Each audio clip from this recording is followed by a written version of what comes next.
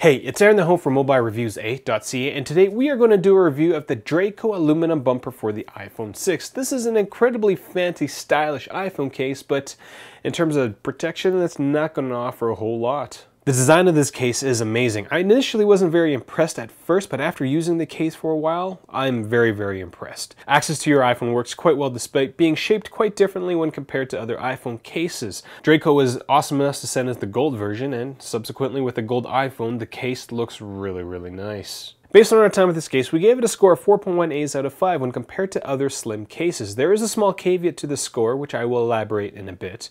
If you are looking for similar cases that are metallic, check out the Spigen Neo Hybrid Metal, which scores just a tad higher at 4.2 Eh's out of 5. If you'd rather read the rest of this review, check out our website for the review table. If you want to see how this case compares against other cases, check out our comparison tool. Real usage, real reviews. Mobile Reviews, eh?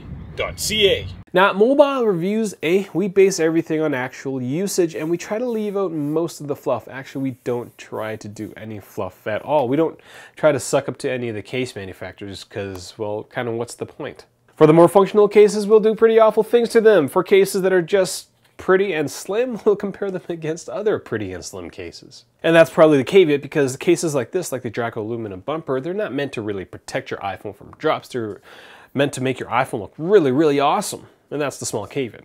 In terms of design, this case will not add much in terms of thickness, but will add a bit of bulk, which isn't too noticeable as the edge of the case is much thinner than the actual iPhone, so you really don't notice the extra bulk. We do have to say this is one of the thinnest iPhone cases that we've reviewed, which is a good and a bad thing. Now at the beginning of the video, I mentioned that I wasn't too impressed with the case, as the first thing I noticed after taking it out of the box was that the mute button was attached to the case via a piece of tape. Nothing screams like a $100 iPhone case or quality like a nice piece of office tape to keep everything together. I do have to say that the mute switch is actually quite solid after you install your iPhone in it. Overall, because it's a solid piece of aluminum, the uh, iPhone inside the Draco aluminum bumper feels incredibly solid. In terms of installation, this is the first case that we had to install with a pair of screws.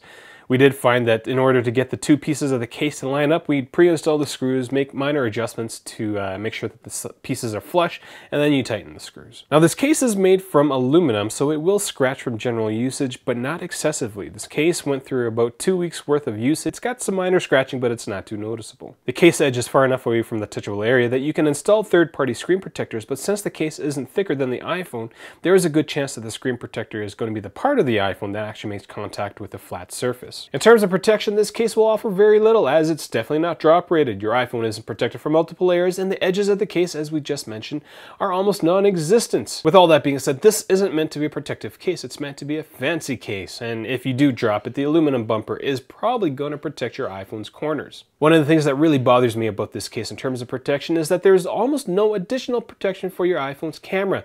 The back of the case doesn't extend past the camera, so it's still kind of exposed. Now, I wouldn't be too concerned about scratching the lens as it's made from sapphire, which is incredibly hard, but it's not shatterproof, so in the odd case that you do drop it on the camera part, you might crack the sapphire lens. In terms of accessing your iPhone, I am incredibly impressed with the buttons on the aluminum bumper by Draco Design.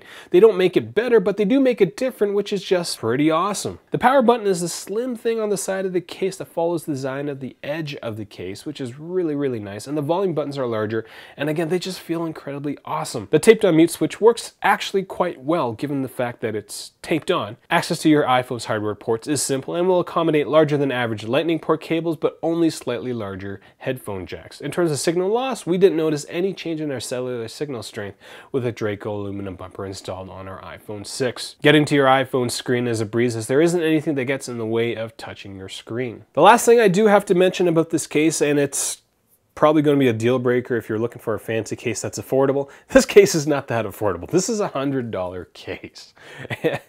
um, so it's pretty expensive given that it doesn't offer a lot of protection, but man, does it look, make your iPhone look incredibly fancy.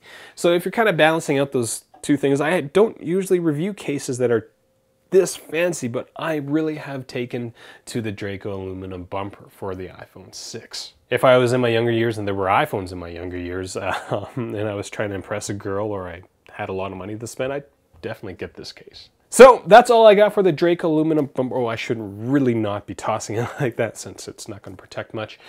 Um, if you have any questions, leave them in the comment section below. I'd be more than happy to answer them. You can find us on Google Plus, Twitter, as well as Facebook. I am Aaron the Ho. Thank you for watching, and that's all I got for this video.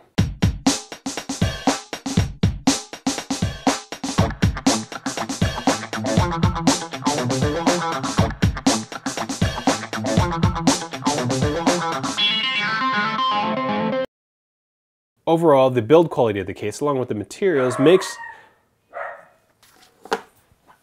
Hey, come here. Come here. Sit.